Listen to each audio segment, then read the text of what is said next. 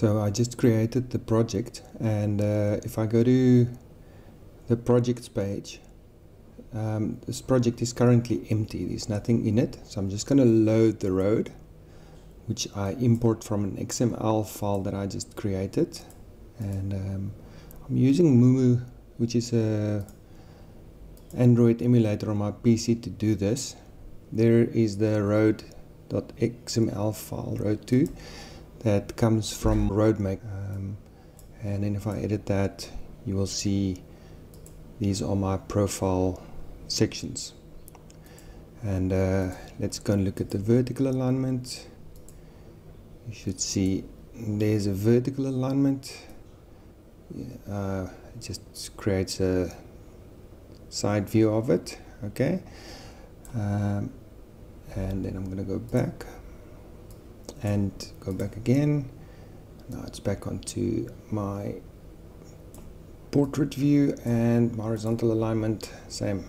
It's already imported as part of the XML so if I now need to stake out something on that road I'm just going to expand this window a little bit bring that into view. And we're going to survey and we're going to say road stakeout.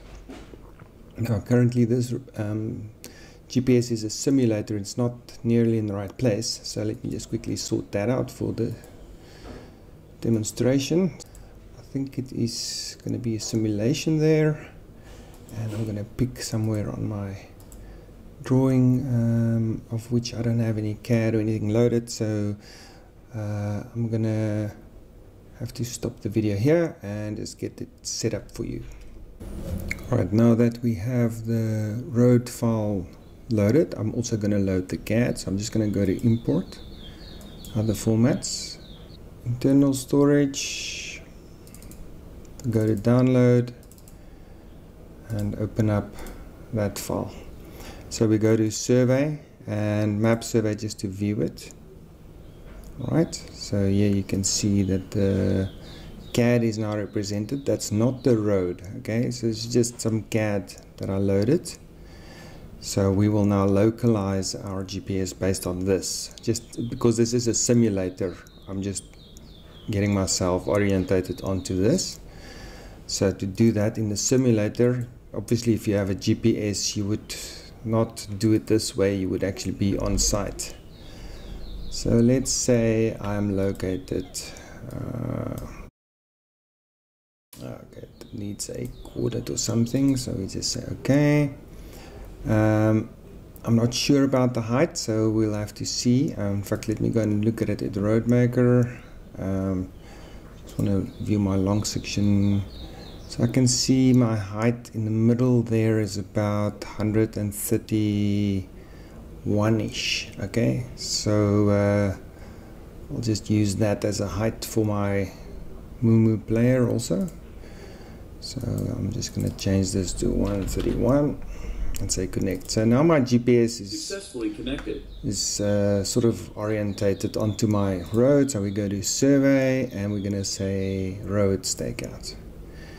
So now we have a location in relationship to a specific point on the road and let me just change the way these units are displayed. So I go to software settings I go to units and just change that bottom station. I don't like to work with this so we just set it to something that's visibly pleasing and familiar for my eyes.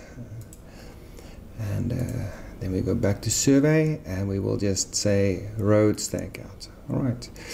So when I do road stakeout I can then say where am I so immediately when I press where am I, I can see that my position, that big blue dot, well that's theoretically where the GPS is. And let's say I want to do the box um, from the road edge. So I need to set up my staking based on that. So I change that where am I. I'm just going to go to stake out road by point. And then click on that little flag at the top there. And then we can use a mode.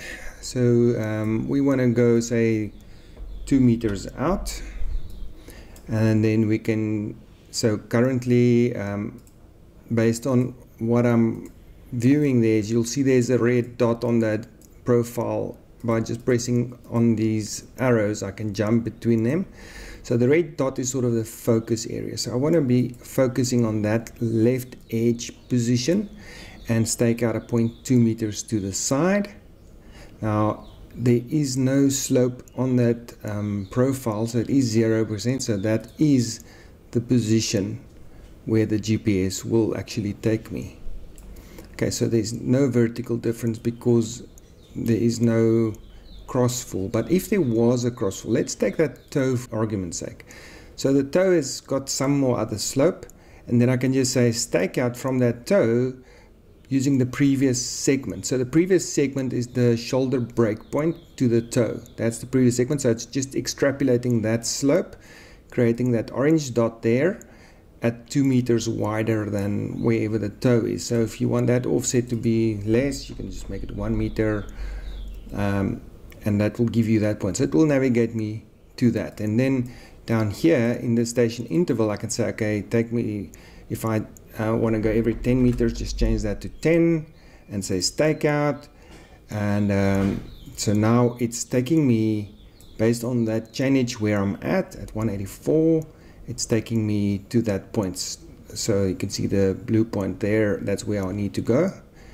Um, and uh, you can also get some other information there showing us how to navigate to that position and it shows us what our current offset is in relationship to the center line of the road.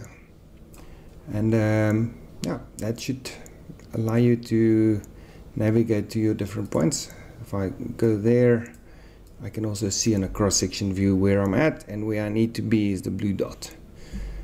Um, or you can always just say stake out road in three points and then just pick your chainage that you want to go to. You can choose which point you want to um, actually stake out. Okay, and you can also enter a station there. Say I want to go to station 180 specifically.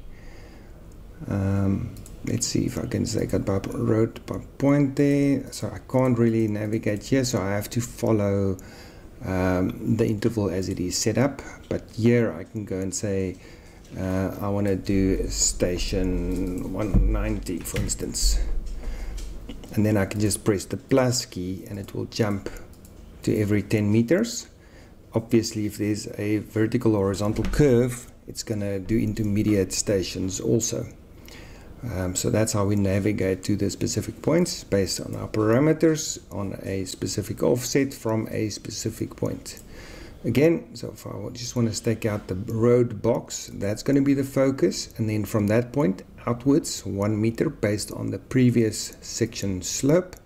So we will have defined slope by previous section. So that will extrapolate that surface slope outwards to that point. So that's where it's navigating me to.